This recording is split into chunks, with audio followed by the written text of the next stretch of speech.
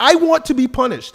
I want to be held to such a high standard that when I sin, I have to make up for it. Right? This is why the Catholic Church is a manly church. Yo, Elliott.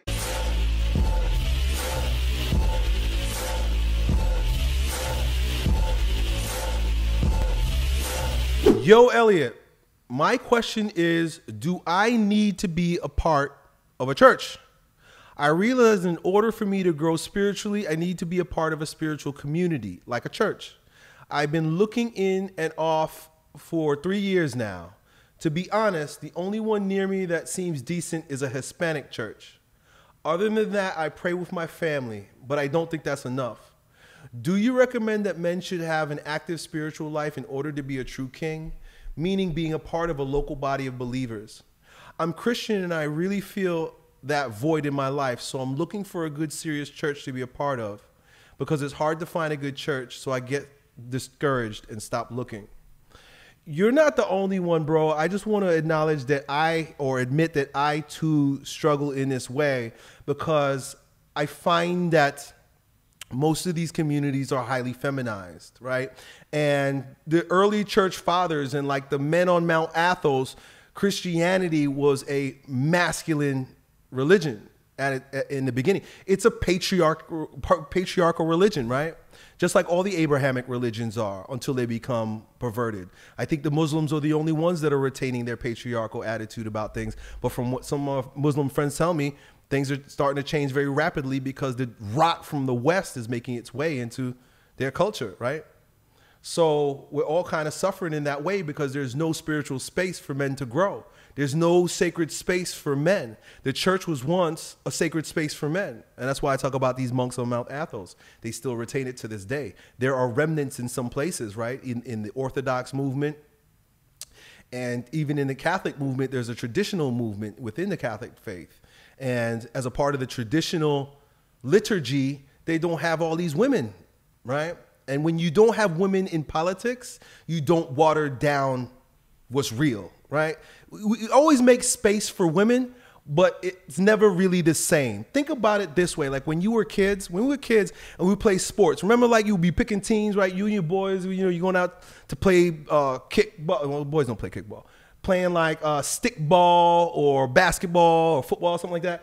And it's cool, it's fun. Like you picking teams as junior, but then the girls come, and the girls want to play too, and you want to be nice and you want to let them play but the rules change a little bit because the girls are there, right? You can't hit as hard. You got to be a little bit gentle, or right? You got to be a little bit more, you got to be nice. You got to be nice because girls are there. This is how women ruin spaces for men.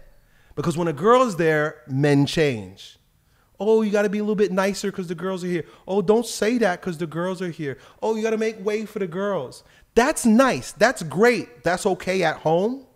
But when men are gathering in places that have been traditionally for men, like the workplace and various aspects of the church, it's for a good reason. It's not sexist. It's acknowledging our differences. Why do women want to always be a part of our spaces? Men don't go chasing after women's spaces. My wife goes and plays bunco with her friends, or they used to anyway. And it's like a it's like a kitty cat circle where they circle around and chatting, right? I don't want to have anything to do with that. Men don't go into women's places. Do you notice that? The, men didn't want to go to the Girl Scouts. Men don't go to the Girl Scouts. There was no push for men to go into the Girl Scouts, even though they got the best cookies in town. No, the girls wanted to become Boy Scouts. Right? Why is that? Why is that? Why is it that men never want to infiltrate women places, but women want to infiltrate men places? Just something to think about. And so I've struggled as well. I've struggled as well in, in finding solid masculine places for spiritual worship. It's not easy. In fact, I'm not sure it's available. And so I, I had this kind of question myself just yesterday. It's funny that you asked this. And I asked myself, why do I why do I go to church? What will keep me tied to the church? And I tell you this that the church God established is there to disseminate, to provide for us to maintain a state of grace through the sacraments that he's provided. This is why the Catholic Church is the only church that makes sense to me. The Catholic Church has fallen. It's got its fallen ideals. We have our fallen pope. We got a whole lot of fallen problems and ideals. But one thing that the Catholic Church has always done throughout all of history was create saints. Saints come from the Catholic Church, they don't come from anywhere else. The Catholic and the Orthodox Church. All the newfangled Protestant churches do not produce saints. You know why they don't produce saints? Because there's no accountability. When you're a part of the sacramental life of the Catholic Church, you have accountability. This whole idea that which is which is very uh, postmodern Protestant that all I need to do is say that Jesus Christ is my Lord and Savior and I'm saved forever is not true. You do have to work. A lot of Protestants say to me, Elliott, the Catholic uh, faith is fake because you, it, because it's works based. Do you think you can get anything in this world without work? Can you get anything in this world without work, much less the grace of God? Especially since you've lived a life of sin and have been an affront to the Lord in all of your decisions. All of the fucked up things I've did and said in my life, and I don't have to make reparations for it. I don't have to work actively to be in the grace of God and go to heaven. All I have to do is say these magic words you know what that does to men? It makes us weak and disinterested. The Catholic Church offers sacraments. In order to receive the sacraments, you need to be in a state of grace. In order to be in a state of grace, you have to be living rightly. You can't be sinning. And if you are sinning, you have accountability. You go to confession you confess your sins, you receive your punishment, right? Which is your penance, right?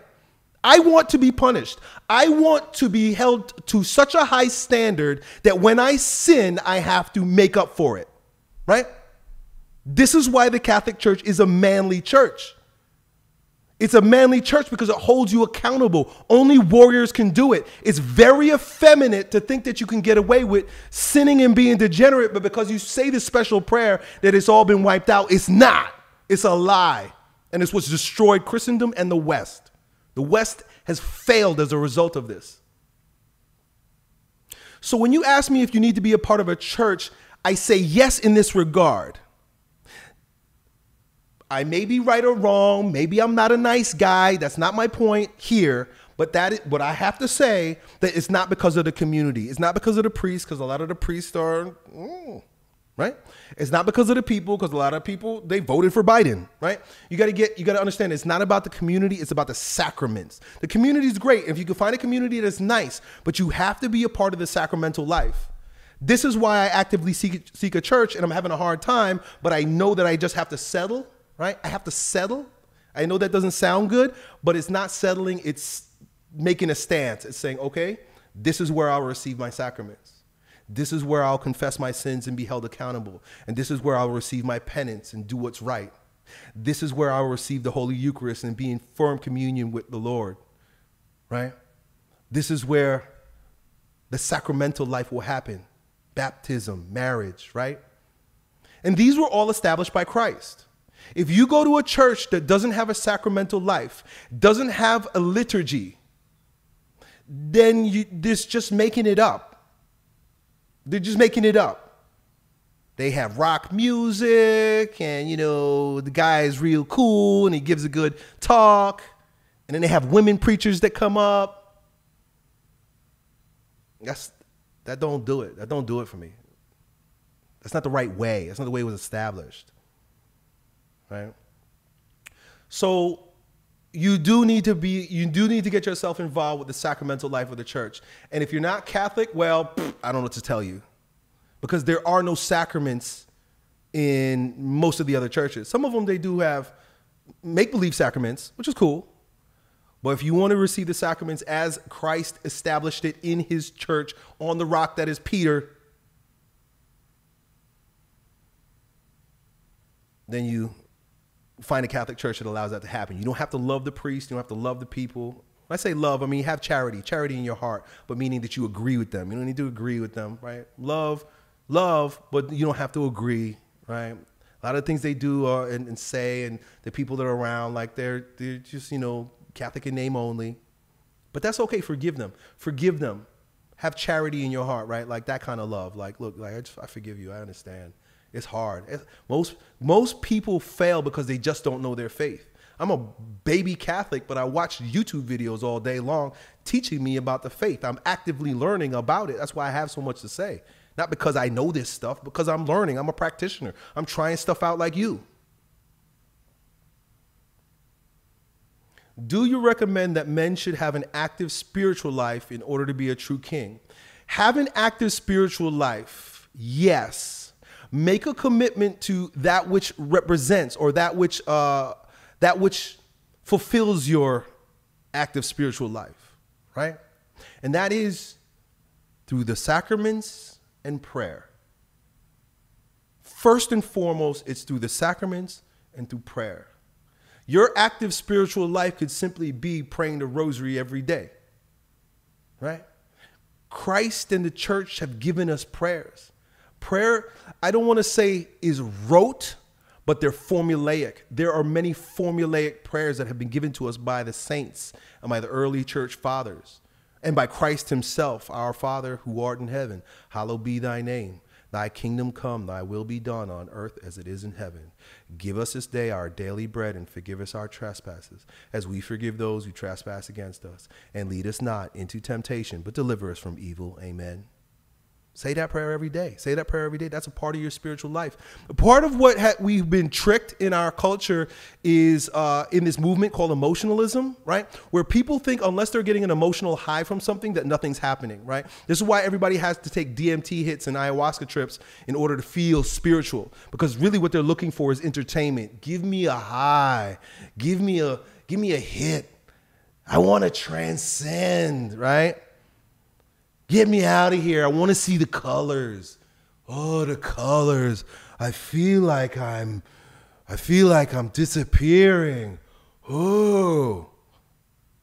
You're looking for entertainment. That's what most people are looking for entertainment. So when they go back to their prayer life and they don't feel something, they think that they're they think that this is not a legit prayer life because it's like, man, I'm just bored of saying this prayer. You pray out of justice. I want you to understand this too in terms of prayer. Men pray out of justice. What does that mean? That means that the Creator expects your prayers because He created you and has given you grace to get thus far. Out of respect for and justice towards our Creator, we pray. Not so that we can get something, not so that we feel good, not because it's fun, but because it's right. That's why we pray. We pray because it's right. It's right and true, right? Memorize some good prayers. Memorize some good prayers. Saint Michael the Archangel, defend us in battle. Be our protection against the wickedness and snares of the devil. May God rebuke him, we humbly pray. And do thou, O Prince of the heavenly host, by the power of God, cast into hell Satan and all the evil spirits that prowl around the world seeking the ruin of souls. Amen. Right? So anyway, this these are these this is I'm not trying to convince anybody of anything, right? I'm not trying to tell y'all what to do, what to be. I'm just giving you my opinion on things. I think it's beautiful that the Catholic faith prays to saints. Y'all be praying for and with one another, but you forget those in the afterlife who have mastered this life, the saints. Right? Pray to the saints for intercession, not worship, intercession, because they're they've achieved the beatific vision, right? The vision with God, oneness with God. They're there with the Creator. Give me a good word, right? Intercede for me, Mary, right? These are beautiful prayers. These are beautiful parts of the spiritual life. And I just sharing it with you. Right? I would feel a void if I was going to a basic Protestant church too, because that those churches they rest most not all not all not all not all but most rest their value on the entertainment that the preacher can give from the stage. What kind of good music? Is it good music? Right? Is he giving a good talk? Right? Do they have Sunday fried chicken and mama's apple pie at the end? We getting together with the barbecue, right? It's a social club. It's a social event, right? Sacraments. And I tell you right now, staying in the state of grace through reconciliation, confessing your sins, paying your dues through penance, and receiving the Lord daily, that is the best way to stay in that state of grace, bro. I've been there. I come in and out of it. I must I'm not a saint. But I know the power of it. And that's why I invite you to look at it that way. Look at it that way. Do you need to be a part of a church? Yes, to receive the sacraments. Not so that you can be partying it up and having a great time with Pastor Pastor Cool Dude, right? And you say the only decent one near you is a Hispanic church. Those Hispanics, yeah, yeah, yeah, they get it. A lot of them get it. They really get it. They're not too smart for themselves, right? Like the Europeans were, right? They, the Europeans outwitted themselves. They tricked themselves, right? With Martin Luther and all. He was so damn smart. So that's my opinion anyway, dude. I'm done. Done. Yo, it's your bro Elliott. I hope you enjoyed that video. If you did, you ought to know that it was a clip from the coaching sessions that I have every week with my King Transformation students where among other things we get together for about four or five hours a week. We talk on things related to becoming kings in our lives in fitness business and with women. If that sounds like you and you want to join a like-minded group of men who are growing stronger every day in every way in this degenerate age then it's real simple. Just follow me on instagram and then dm me the word king k-i-n-g me and my team will get back to you the details and see if you qualify to join us. Hope to see you at our next meeting. Done.